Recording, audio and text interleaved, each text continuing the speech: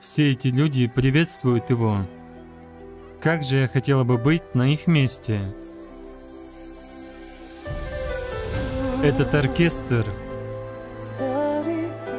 Я так взволнована.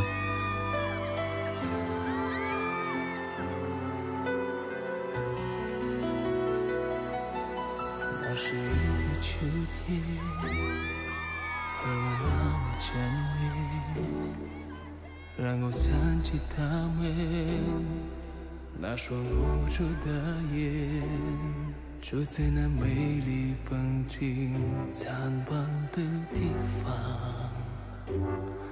我听到一声巨响震彻山谷就是那个秋天才看不到爸爸的脸他有多的秋天，多寂寞重生的季节，黑暗中泪水沾满了树叶。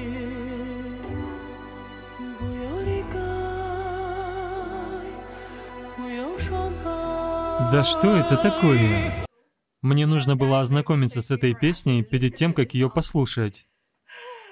Ладно, он так рассказывает нам историю об этом финальном моменте. Если я не ошибаюсь, и если у меня здесь правильный перевод, я говорю про субтитры. Хорошо, продолжим.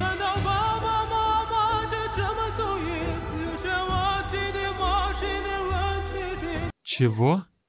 Я вижу, мама и папа уходят в тень оставляя меня в этом чужом мире?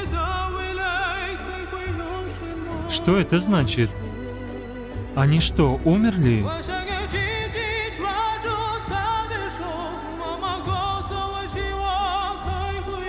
Почему они покинули его?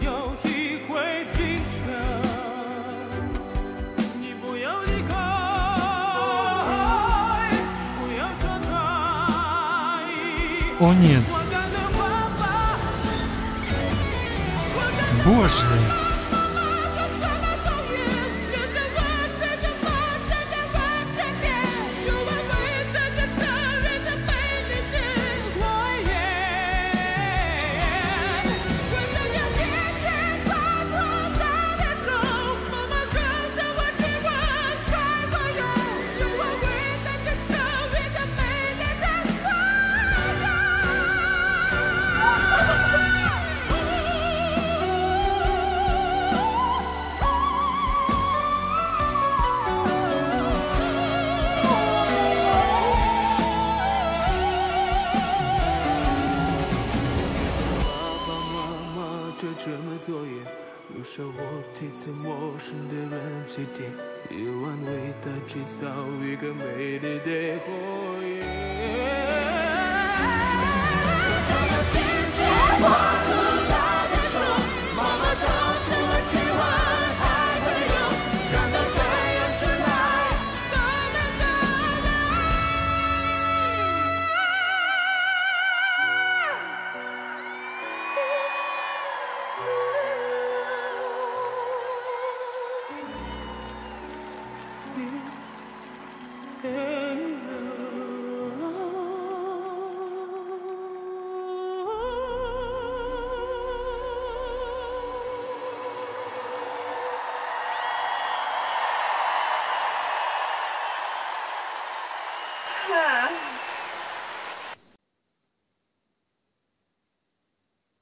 Я честно не знала, о чем будет эта песня. И я хочу узнать предысторию этой песни. Потому что... Дайте-ка я немного погуглю. Это то, что я должна была сделать еще перед просмотром. Это песня о несчастном случае на канатной дороге в 1999 году в Китае. Родители смогли спасти своего двухгодовалого ребенка, вытолкнув его из кабинки. Ребенок выжил, но пара погибла. Итак, это история на реальных событиях. Одна только мысль. О таком сценарии это уже трагедия.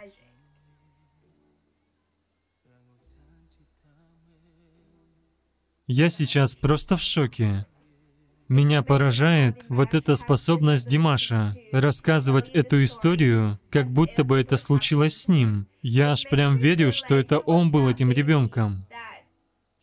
А сейчас он вырос и повествует нам эту историю о своей трагической жизни. Это же все настолько печально.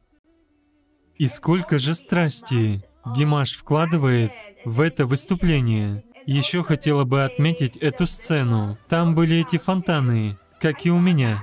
Я их сейчас только замечаю, потому что весь мой фокус был на словах этой песни. Все было настолько суматошно, столько вещей происходило в один момент.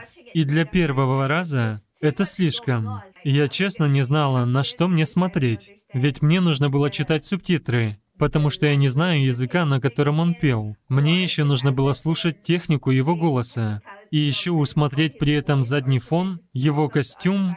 Это же невозможно. Все это так идеально работало. Одна деталь дополняла другую. Димаш здесь просто молодец. У него повествовательный дар. То, как он переживает песню. И то, как он ее подает. Здесь любому человеку будет понятно, о чем он только что пел. И в то же самое время у него совершенный вокал.